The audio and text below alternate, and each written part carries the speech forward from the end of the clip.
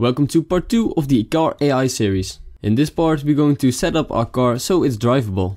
This will be a short part and doesn't contain any scripting for now. We're just going to set up this car so we can use it in the later episodes. So let's have a look at our car. Here we can see the parent of the car. It's just an empty game object and if we open it we can see we have two objects in it. We've got the visuals and we've got the camera that's way behind the car. Here you can see the preview window. So if you take a look at the visuals, this is also empty game object which stores all the meshes of the car. So if we open this, we can see that we have a body, so the car itself. Then we got our bumpers, the front and the back, and all the wheels that are separated. The first thing we're going to do is put all these wheels in one object, so it's easier to see. Click on your visuals, then go to game object, create empty, and drag this under your visuals. Let's rename this to wheels. Make sure the transform is reset, so click on the gears and click reset, so it's 000. And then you drag all those wheels in the object. Don't reset those, because otherwise they will move out of position. The only thing that needs to be reset is this empty game object with the wheels. The way we make things drivable inside Unity is to use the physics component wheel collider. It's on under physics and then wheel collider. You can compare this collider kind of with a circle collider, only this has functions like spring, motor and steering. So this is made for making wheels. To get those attached to the car, we need to make empty game objects at the same position of the wheels itself. An easy way to do this is duplicate this wheels object with all the wheels inside it. So make sure you select the wheels, then click Ctrl D to duplicate and let's rename this to wheel colliders. Let's close the normal wheels and open up the wheel colliders. So now that we have duplicated our wheels, we have two times the meshes of the wheels. So as you can see, there are two wheels inside one. Let's select all the wheels in the colliders and remove the mesh renderer and the mesh filter. So we only have to transform.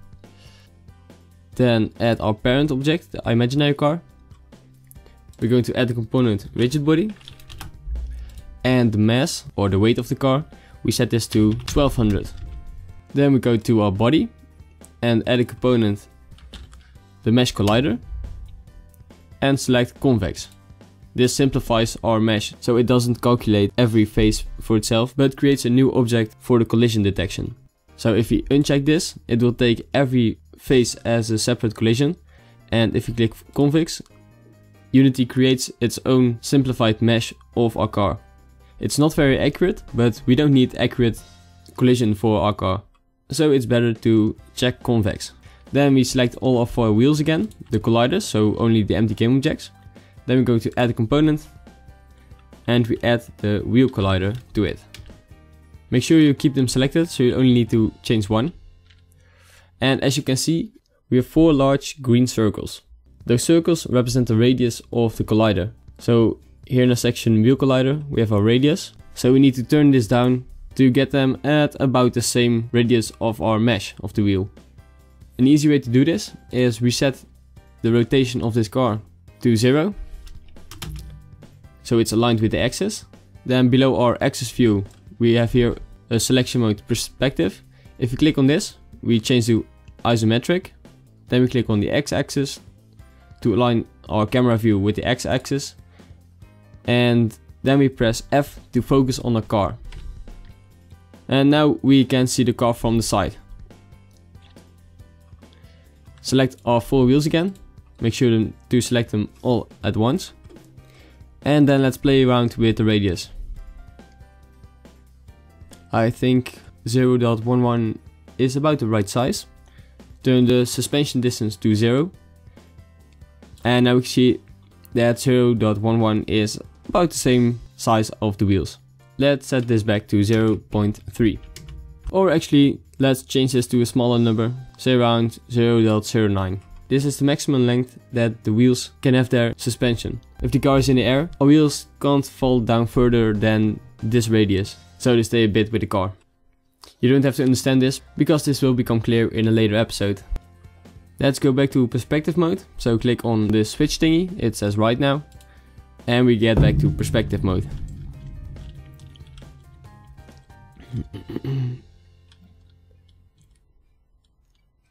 so make sure all the colliders are at the same position of the wheels. If it isn't, please make sure to follow on the video at the exact steps. If you hit play now, the car should be standing on its wheels. So let's test it out. Make sure the car is above the ground and also the wheel colliders are above the ground. So let's hit play. And you can see that the car falls a little bit and then stops. So let's check it from the scene real quick. Select your wheel colliders and if they are at the ground, you're sure you have done the right thing. So that's it for this episode. In the next part we're going to create a script that controls the steering of the car, so whether it turns left or right.